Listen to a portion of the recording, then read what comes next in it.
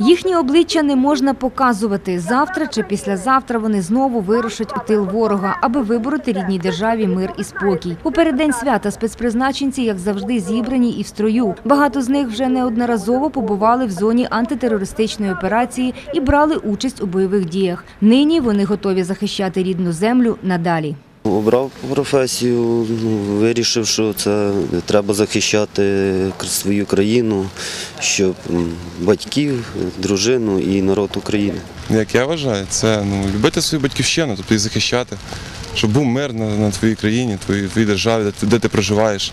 Державні та бойові нагороди урочисто вручає командир полку Олег Нечаєв. Каже, професія військового завжди була і буде престижною, попри те, що про захисників в державі згадують лише тоді, коли припече. Професія військового завжди була, повинна була бути престижною, але не завжди вона була дооціненою до кінця.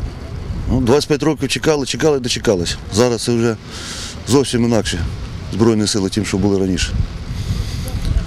Ну, а професія, звісно, важка, не завжди оцінена, не завжди вдячна, але її треба комусь робити.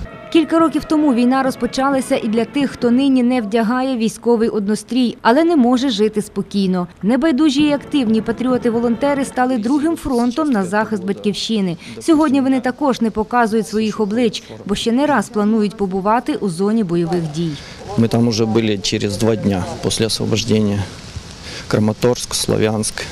То есть в первую очередь, когда приехали, привезли самое необходимое, это ребятам продукты, которые были очень довольны даже тому соленому огурчику, который, потому что долгое время, почти месяц, жили на сухарях на одних пацаны. Нагороди і слова подяки захисники України продовжують захищати рідну державу, сподіваючись лише на заслужену повагу і підтримку. Якщо ми не станемо в один єдиний кулак, ворог може прийти сюди. І як би нам не прикро було про це говорити, війна сьогодні є. І, на жаль, ми бачимо, що відбувається на східних. е, е, Рубежах нашої держави кожного дня гинуть хлопці. Ми майже кожного дня проводжаємо в останню путь, і це дуже боляче, дуже важко і е, дуже шкода, якщо це для нас стане просто байдуже і не буде йокати серце від цього. Анна Михайловська, Максим Захарченко для інформаційного випуску.